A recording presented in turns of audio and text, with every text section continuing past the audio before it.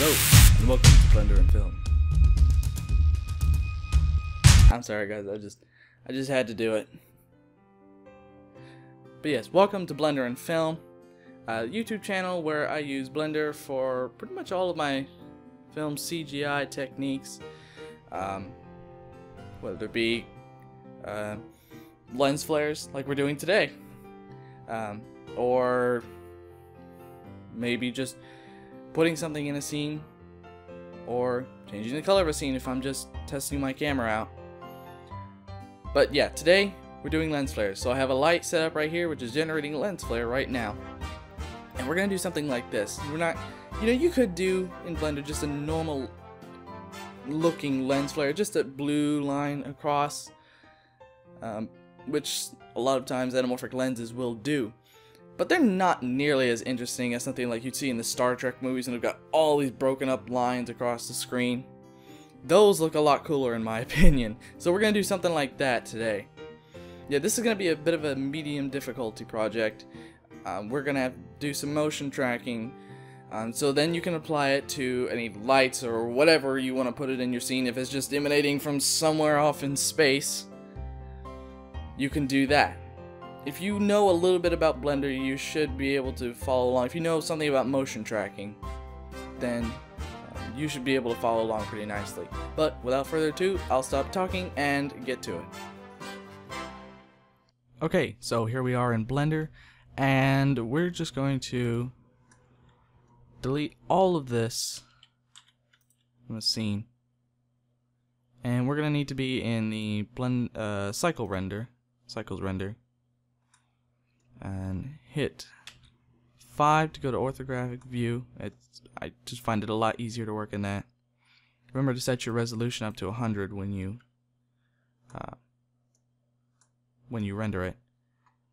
Okay, so what we're going to do first is we're going to add, I'm not going to do any of the uh, shortcuts or anything like I did in the last video, um, you because you can you know, I'm pretty sure if you know how to use Blender, you should know how how to add some of these things. But add a let's see, we're going to take a where let's see. Ah, here they are, empty. Plain axis. And what we're going to do is go to the top view, so hit 7 on your number pad. And we're going to add a circle. Hit tab and F to fill it in. And then scale it down. Alright. So now we need to give this a property, uh, a material. So we're going to give it an emission, set that all the way up to white. And then the strength, we're going to set this to be 5. Okay, so go back to your top view and add the camera because we deleted that. Alright, so now you have, let's scale this down a little bit more. Okay, so now you have your circle, which is going to be your light, and the empty. So what you want to do, this empty, I'm just leaving it here for reference, this is going to be the motion track um, empty. When you, If you motion track a scene, then you're going to put, uh, it's going to put an empty in there, and then you're going to take all of these this you're going to take the circle and then you're going to parent it to that motion track. This, we're not going to use this until we motion track. So actually we could just delete it. So just take the circle and remember to have your background set to completely black. Okay? So now what we need to do is uh, we'll render this out real quick just so you can see it's just a black dot right there Okay. So now what we need to do is make a new scene and we'll just do full copy because it's going to be easier. So now we see scene 1 and we're going to call this the actual, well actually, here we'll just call this the lens flare streak. My speakers just turned off, they always pop like that. Okay, so we'll take the first one and we'll name it light. Okay. So now we take the circle, um, and we'll see, we can rename this one light, just so we know uh, when we go later to get the streaks, we need it to parent to that, so that when we motion track, we can parent it, parent the circle or the light to the empty. But let's go to the lens flare streak, and we need to delete this one. And we will add a plane, and then scale it down on the Y and the X just a little bit. And we'll give it the same property as this one. Now you may have saw two there. That's because we uh, duplicated the scene, so it duplicated the uh, light, and it had the material. But we're just going to use the material on the um, the streaks. I don't know what you would call these. Oh, okay. So now we need to duplicate this and just move them around, kind of just in the scene. Okay, that should be good. So now what we need to do is we need to go to the constraints, add object constraint, and copy location to. Actually, before we do that, before we add all these in, we'll do it to this one so that we have them to work with. It'll be a lot less tedious. Okay, so target, you need to set that to the light.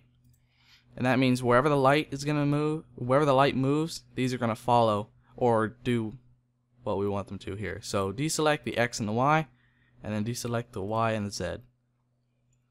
Okay, so now what we need to do is tell it to invert the X and offset. So now, when we move the light, this moves with it, and you can see it's moved over here. That's because it's inverted. It's going to travel in the opposite direction. Okay. So now we can change the influence of how much it moves. And this is based on this y axis. So if you turn it all the way to zero, it's just going to move up and down and stay right there. Or is it? I believe it's on this one. But it's according according to how much influence you have, it moves around the scene.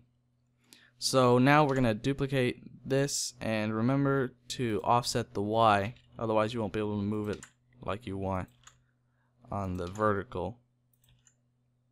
So just take these and move them around and just give them different uh, amounts of influence on the X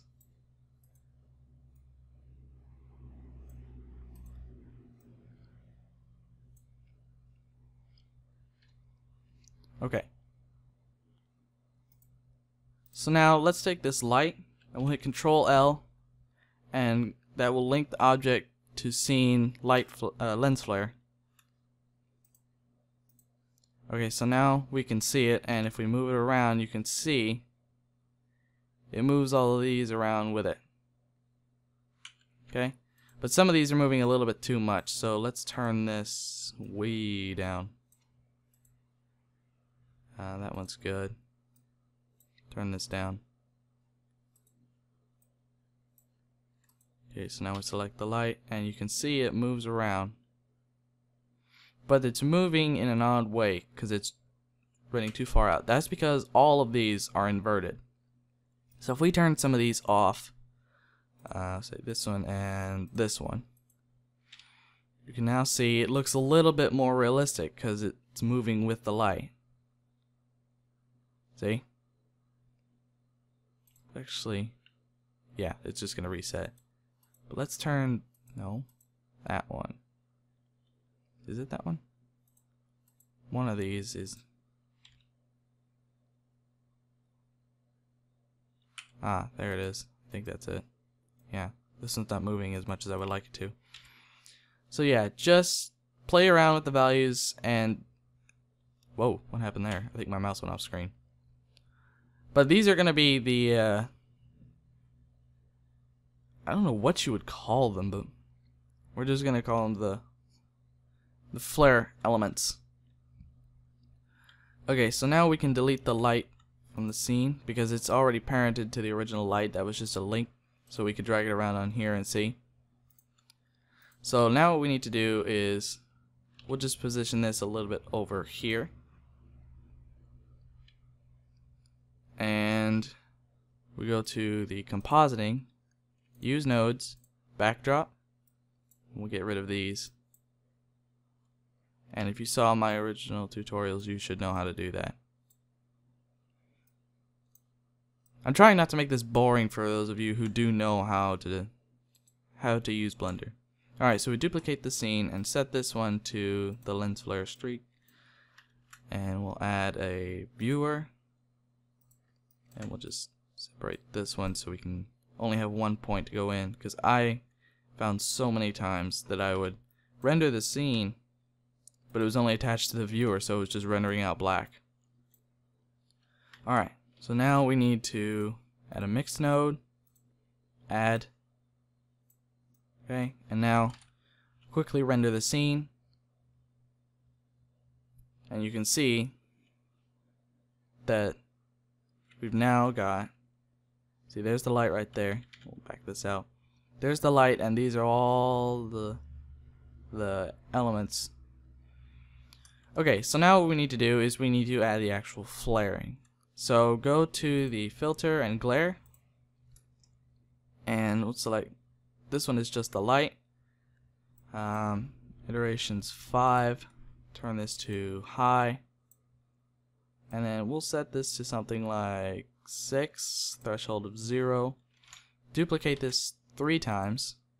Change this number up to, let's say 3. And then this one to 10. Angle this. And then we'll make this one a little bit longer this one smaller. And we'll leave that one there. So now once it uh, finishes compositing, you're going to have this bright, uh, it looks like someone's shining a flashlight straight into the lens. Oh, it's just lots of um, light flares, but not the uh, lens flares, like the anamorphic lens flares.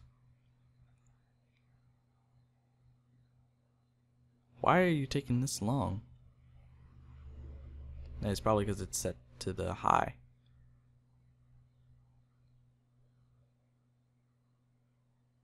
Yeah, that'd probably be it.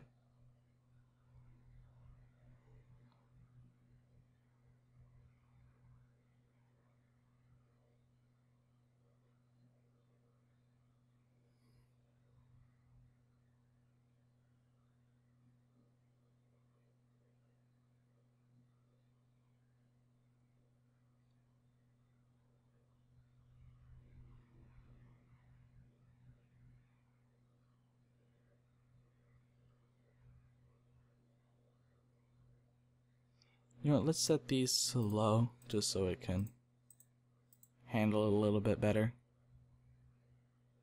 There we go.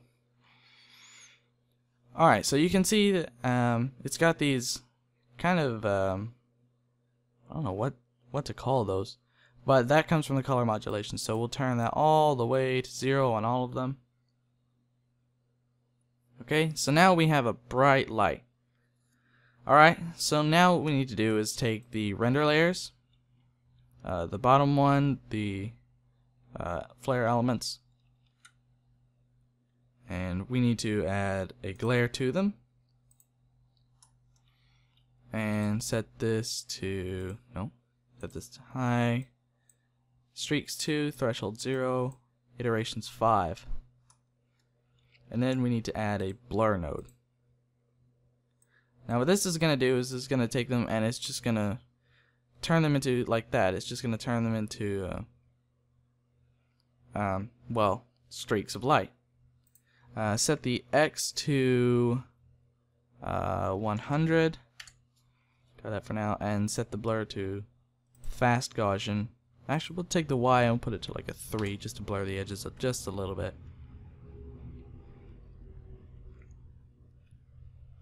See, now we have this broken up kind of lens flare. But this is just black and white, and that looks boring. So let's add some color. and color balance. And we'll do that for this one up here too. I live right next to train tracks, so there's the trains every time I'm recording. Alright, so we'll take this on the flare streaks.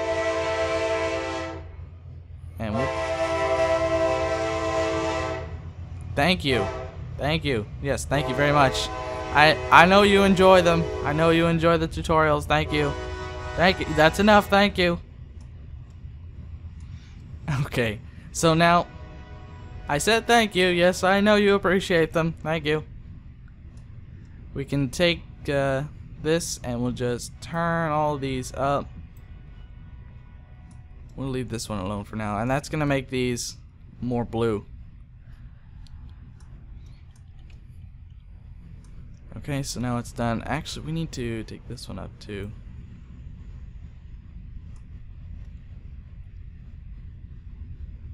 No, actually, what it's doing is it's, it's just coloring the flares. So let's actually put it Wow, what did that do? Okay. Let's put it before that so it colors the actual elements. That'll give it a little bit better look. See, there you go. So now it's actually kind of blue. And we'll turn these up.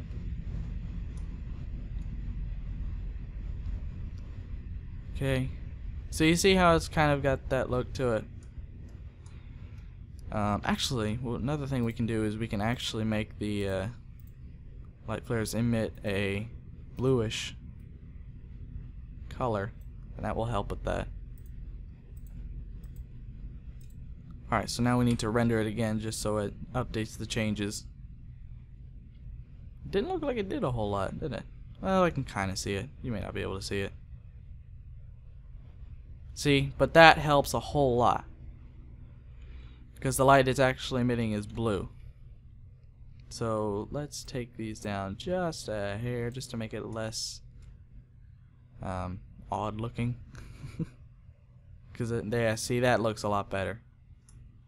Alright, so now we need to give the light a little bit color. Uh, so let's give it just a hint of blue and just a hint of yellow. Just so it actually looks like a light. See? Alright. Now, what we need to do is add another flare, or sorry, glare, glare node, and plug it into the light. And we'll take another add. We're done with this right now. And run this to there. And we'll turn this one to ghosts and turn that to high. Iterations, actually no, we'll leave it at 3. And the threshold is 0. Now this will give us the, uh, looks like, uh, yeah, see, right there. It looks like the many lens, uh, lens components. Uh, yeah. And we'll take this and turn the factor up to 3. And that's just going to amplify the effect. See? Now we got an even brighter light.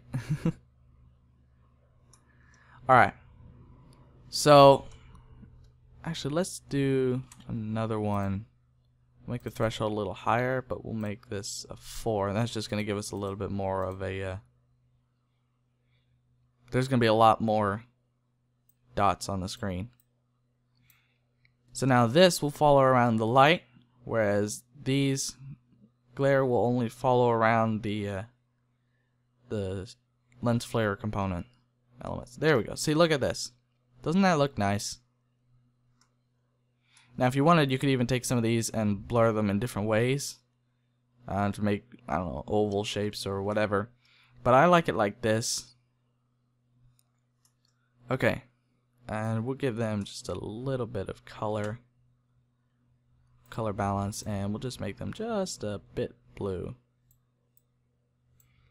just so it kind of follows. Because like how anamorphic lenses work is they have a uh, they stretch the image, uh, or they compress it um, horizontally, and then you stretch it out back in post, and it gives you that aspect ratio. And they have a blue coating on the front, which makes the a lot of the lens flares blue. So I'm keeping with that in the uh, coloring. Okay, so that's a really basic one. But another thing that helps sell it is a lot of times you want to do actually we'll just copy the light okay so now that's copied and we're going to delete this light and we're going to add another plane scale it on the Y and add the object constraints, copy location, copy location, and target the light and the light.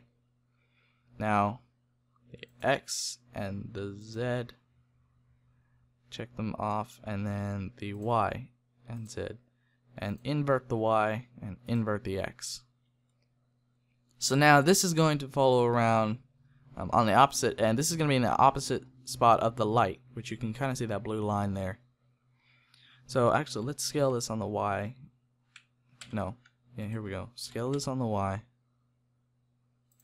And then scale it on the X. Now this is going to be kind of like the ghost um, node that we put in, but it's going to be just a blue streak, which a lot of the uh, anamorphic lenses have. Now we're going to duplicate this and scale it on the X. And then influence the Y, turn that down, and influence on the X, turn that down. And scale it on the X a little bit more, scale it down. So now, when we move the light, Control L to link it there, light 01, and we're actually going to rename this to uh, anamorphic, spell it right, yeah, ghost. Okay, so now if we move this around, you can see those streaks move around with it. And if we go to the center, it does that too. Okay, so now we can delete that from the scene. And now, we need to go back into the compositing and add, we'll take this one, add a new render layer and set that to the anamorphic ghost. And no, we'll take this one because this one's at a 1. Add them together. But we haven't rendered them. So it's not going to show up. So before we render them, we need to give them, of course, materials. So we're going to use, let's see, we're going to use these because these are going to be the same color well, sort of. We're going to make them a little bit darker. But we need them emitting a blue light, and those work just fine. So now, we go to the default. Um, actually, let's go to the compositing. And we'll render this out. So we can render the scenes. You can see them all loading. And now, once it does all the compositing,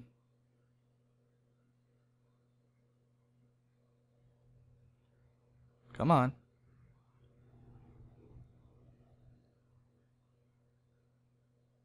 There we go. See, now we have these streaks in here. So what we're going to do, we need to give these a little bit more character. We need to add... Hey, Actually, let's just take the streak and the blur from here. And we'll use these. But what we need to do is we need to turn this way, way up. Okay, so now this is going to flare out in much the same way as these, but it's going to behave like these, the uh, ghosts. I don't know if you can see my mouse. I f I don't know if I turn that back on. Okay, so now we need to give it color uh, color balance and we need to give it a really dark blue. Or really intense blue.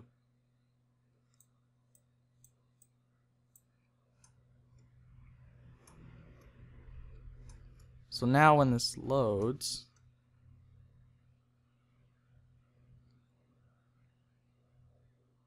there we go. Actually, we need to make that one a little bit smaller. So go to the anamorphic ghost, and this one needs to go way smaller. Okay. No.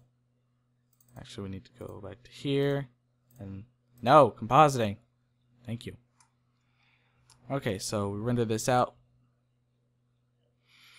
And what it's going to hopefully do, if it does it right, or if I did it right, it's going to make the kind of ghost ghost node effect, but in a fashion that's similar to an anamorphic lens flare. That was quick. Okay, so you can see there, it's moving around, but it looks too strong. So we're going to turn the factor down. Excuse me. We're going to turn the factor down. And actually, we need to turn it down to something more like that. So, 2.25, just to make it an easy number.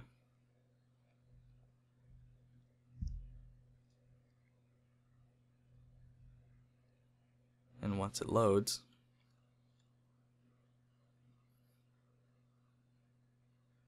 There. So now it's it's not as pronounced, but it's still a little too bright. So let's turn it to 0.1.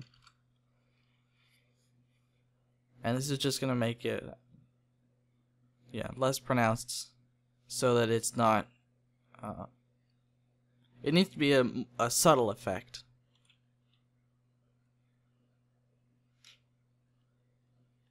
There we go.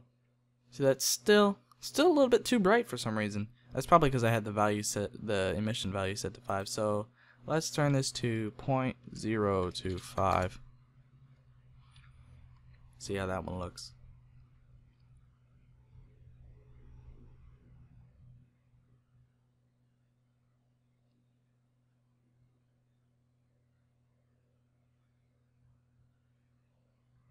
There we go. See, that one looks a lot better. Alright, so now we'll just do a render of this. We can see what it looks like.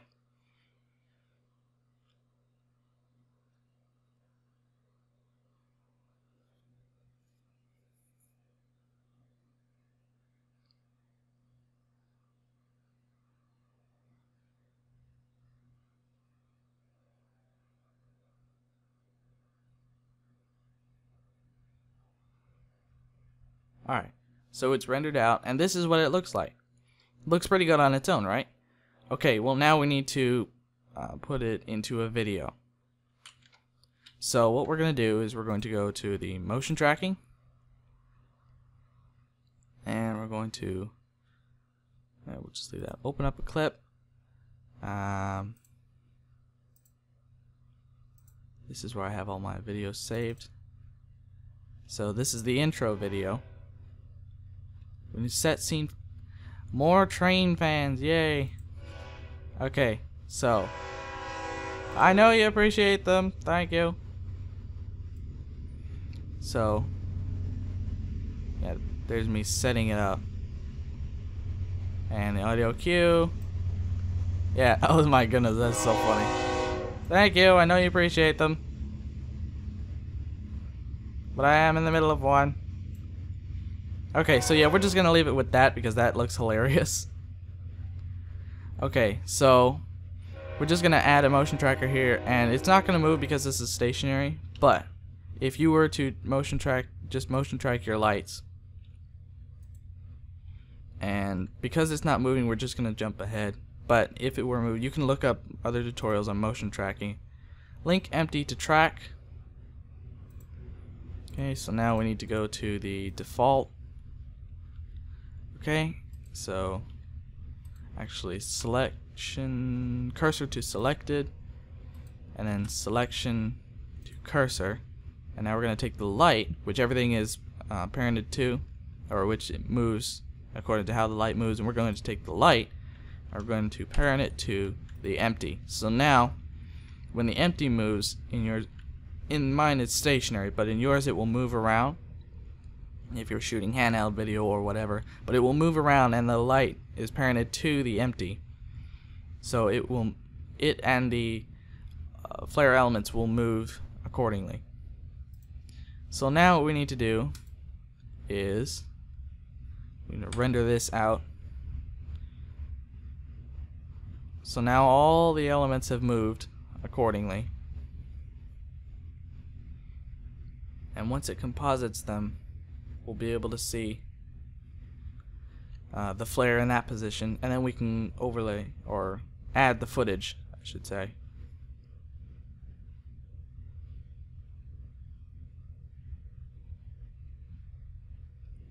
See, there we go. Alright, so now what we need to do is add our footage. So let's take these and actually we'll just take all of these. Select these and think it's control G. No. Select how do I add them to a group? Is it shift G?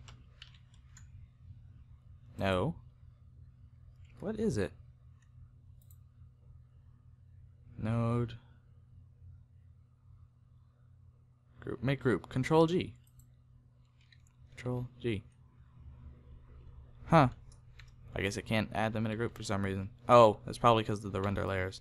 Okay, we'll just take these and Control G.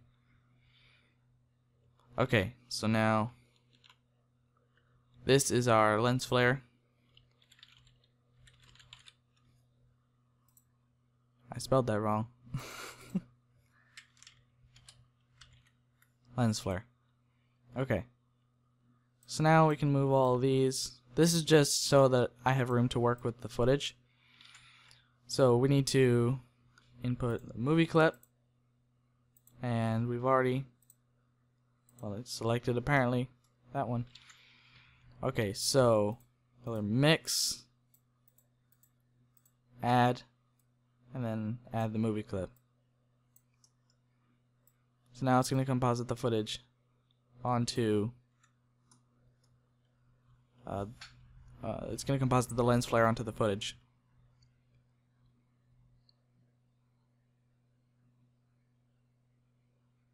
I said it's going to composite. There we go.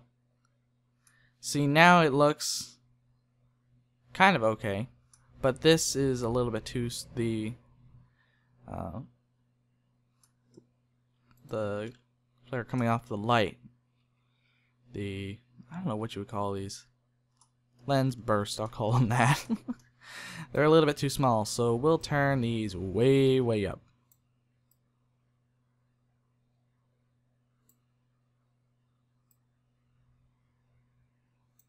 There, try that. Now it could it could be just me that I think they're too small but I don't know. It's probably not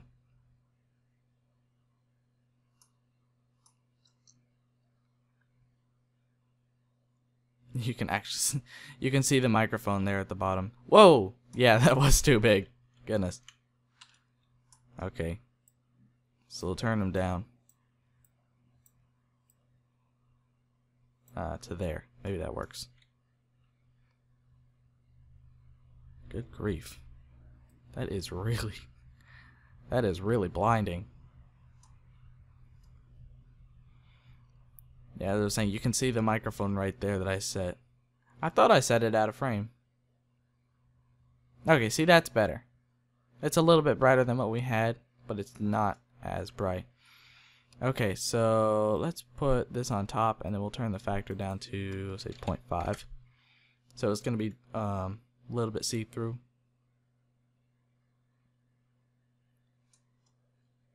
It's not going to be as um, it, it won't look as though we just pasted it on there.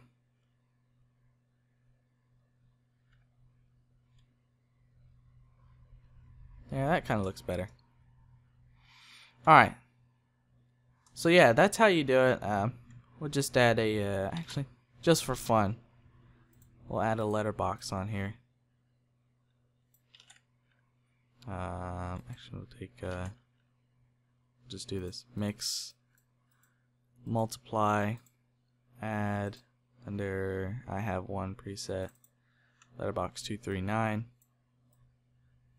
And once it composites, because lens flares, unless they're CGI generated, um, if you see it on a 16 by 9 video, it's either cropped from an anamorphic lens, so it looks, uh, the footage from an anamorphic lens is cropped down to a 16 by 9, or it's just a CGI lens flare. In this case, it is a CGI lens flare, but we're just having fun with it. So there. That's how you make lens flares, better looking lens flares than the first tutorial in Blender. And you can experiment with how you want these broken up elements to look. You can have a flare coming from the light itself and then have these in there to um, complement it. Uh, that looks good too. But I personally like the one that's just broken up. Because it looks a lot more sci-fi. I don't know. But anyway, thank you all for watching. Um, hope you have fun trying to make this yourself.